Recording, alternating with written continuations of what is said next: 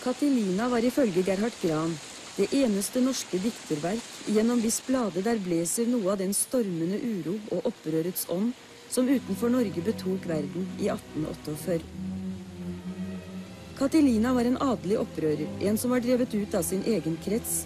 I hans munn kunne Ibsen legge noe av sin egen harme og kritikk overfor de rådende samfunnsstøtter. Francis Bull skrev at Catelina tynges av sin fortids synder, men aller mest lider han som Ibsen i Grimstad under følelsen av skummende krefter.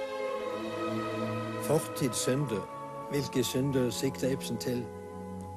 Da han kom til Grimstad med rutebåten Lykkens prøve 3.1.1844, var han nesten 16 år gammel. Han kom i konfirmasjonsdressen. Det var forresten det eneste skikkelig klesplagget han eide.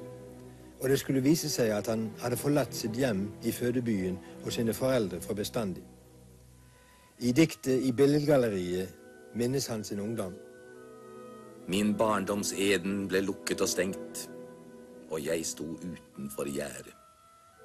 Min konfirmasjonsdrakt på veggen hengt, akk, det var kjeruben med sverdet.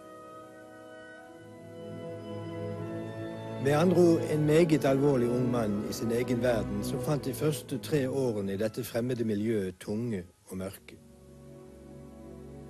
Siden ble det lysere. Apotekerlærlingen fikk venner, og han begynte for alvor å skrive først og fremst epigrammer og dikt.